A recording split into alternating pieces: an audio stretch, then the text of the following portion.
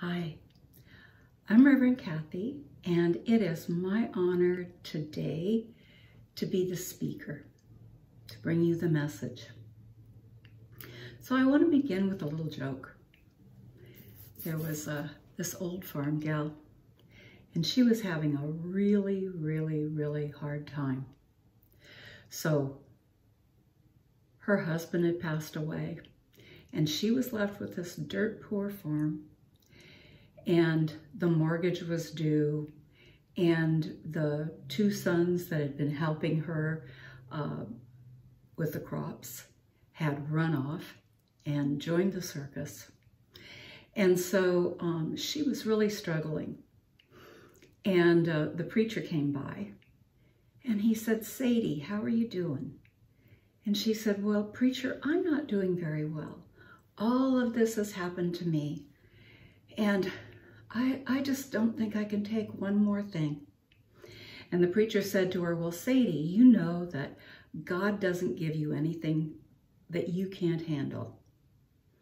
And she said, yes, I know, preacher, but sometimes I wish he didn't think so much of me.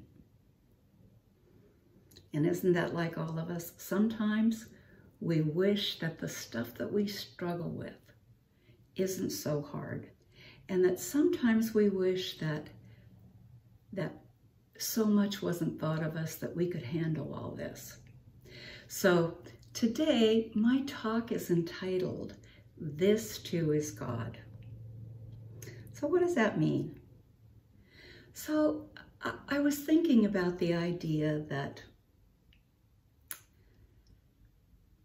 when we struggle with something, when we have things that we struggle with, and when things are just not going as well as we think they should, or when we have something that comes up that really throws us for a loop, what do we do? So recently, I had something that really threw me for a loop. And I was told something and given some information that really upset me. And so what did I do? So the first thing I did was had a good cry. And I thought, you know, why? Why this? You know? And just cried my eyes out for about five minutes. And I had gotten the news just before somebody was expected at my house for lunch. And I had some granddaughters that needed a ride somewhere, and all of this was going on. And I thought, well, I can do a five minute cry, but I don't have any more time than that. So I went about and did the business that I had to do. And then I began to think about it and think, you know, this has happened to me before. What am I going to do about it? What do, what do I do about it? And so I remembered that the thing that I do about it is remember that everything that comes up for each one of us, this is a lesson. So right now, this is my lesson. Today, that's, the, that's my lesson. And in that lesson, I need to remember that this too is God. This is God presenting me with an opportunity to heal. And what am I healing from? I am healing from whatever comes up. So each time something comes up for me, I remember that I can heal from this and that this is God showing me something that needs to be healed in my life, in my life. Now, the things that need to be healed are not the same in everybody's life. We don't all have the same opportunities or challenges. We don't all have the same things come up for us. But it's a good thing to remember that instead of baying to the moon and crying forever, to pull your straps up, pull up your bootstraps, suck it up, and remember that this too is God. And when we remember that, we pull ourselves into a place where we can focus, where we can pay attention to what's really important. And we pay attention to what is my lesson here? What's my lesson today? This is my lesson today, okay? Am I to struggle with it? Am I to fail at it? No. The Lord only gives me opportunities to heal. If I learn the lesson, great. If I don't, that opportunity is coming up for me again. So I need to be prepared that if I don't get through it this time, I get another opportunity. So what's this that needs to be healed in my life? So we want to look at the words that we use. What are the words that we use?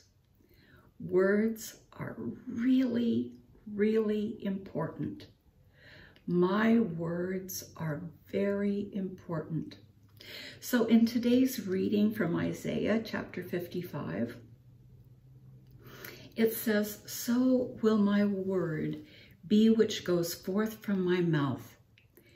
It will not return to me empty, without accomplishing what I desire, and without succeeding in the matter for which I sent it.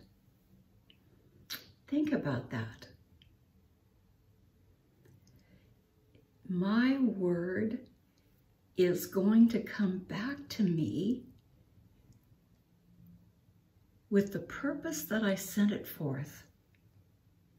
So if my words are angry and negative, what's coming back to me? Anger and negativity. If my words are positive and hopeful, what's coming back to me? Positivity and hope. So we need to be really careful with the words that we use for our own lives, with the words that we use that we share with others. There are people who call me on a pretty regular basis that have nothing but complaints, that spend their time complaining. Is that the truth about them? No. We don't need negativity to be the truth about us. We need positivity. We need positive thoughts. So those positive thoughts go out and those positive thoughts come back. And that's what we want in our lives. So when we begin spewing words, we want to remember what are my words and how valuable are they to my life? If I am saying everything sucks and it's not fair and I am challenged and everybody else is not challenged the same way I am, why me? What's coming back to me? More of the same. But when I accept the challenges that come to me in my life and I say, this too is God, guess what? This too is God is held onto by the universe. And it comes back to me in blessings. It comes back to me in love. It comes back to me in grace. And we can all use a little more grace. That grace is important when we challenge big things. So the little things in our lives, oh well, we're kind of used to those. Big things, those we need to reevaluate. Those we need to look at, accept, and say, yeah, this too is God. This is God speaking to me and telling me what I need. This is God loving me enough to give me lessons that will make me better and stronger. This is me better and stronger.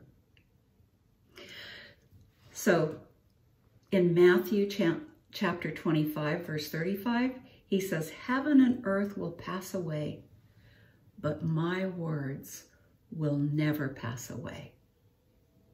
Heaven and earth will pass away. Those words that are important to me will always be important to me. They will always be significant. So be careful with your words. Know that your words are powerful. You have all of the power you need within the word. If you're having trouble holding on to that idea of powerful words, speak to a practitioner. Ask somebody to hold that consciousness for you, to hold the idea that this too is God and that you can do better, you can be better, you can hold that consciousness. So Ernest Holmes said, you can heal, but you must know that you can. Think about that. You must know that you can heal. You can heal, but you must know that you can. He said, healing is not creating a perfect idea or a perfect body. It is revealing an idea which is already perfect. Healing is not creating a perfect idea or a perfect body. It is revealing an idea which is already perfect. So when I say this too is God, it is revealing an idea that is already perfect. This idea that everything that we encounter is part of God's blessings for us.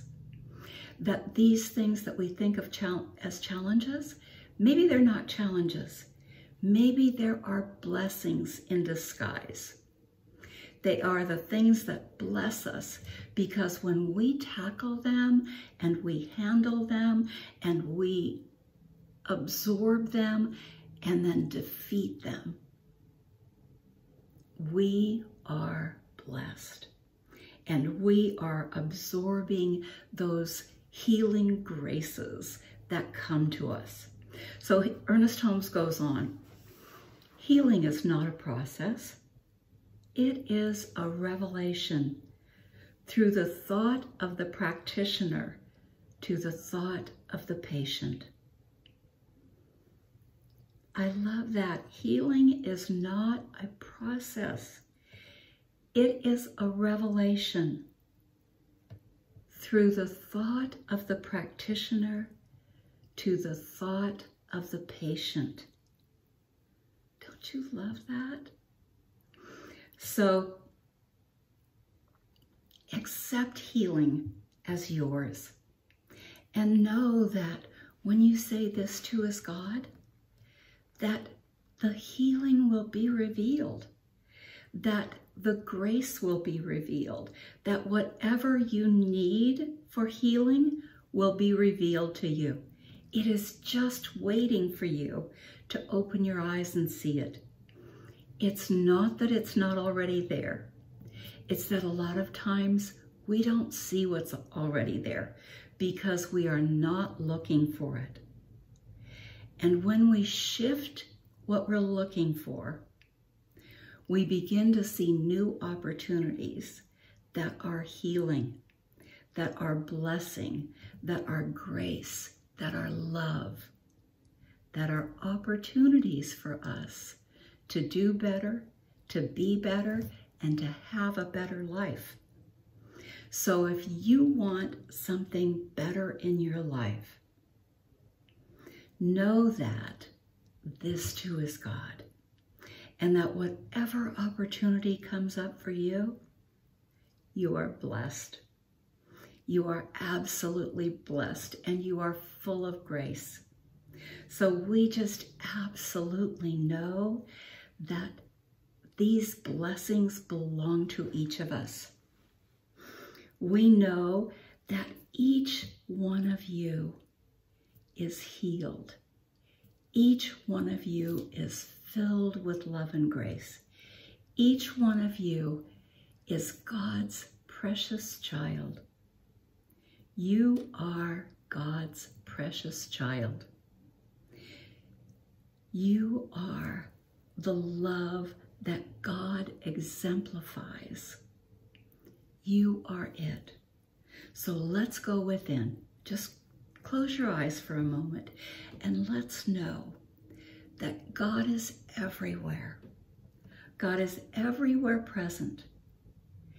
And right here, right now, God is operating perfectly in and through each of us. That God knows each of us by name. God holds us in the arms of divine grace always. And that as the divine holds us, the divine heals us. That love of the divine always enfolds us. And we are grateful for that. When we recognize that we are always being held by love and grace, we are so grateful. And we just say, thank you, God. Thank you for holding me. Thank you for knowing me. Thank you for loving me. Thank you for blessing me. And so it is. Blessings. Amen. See you soon.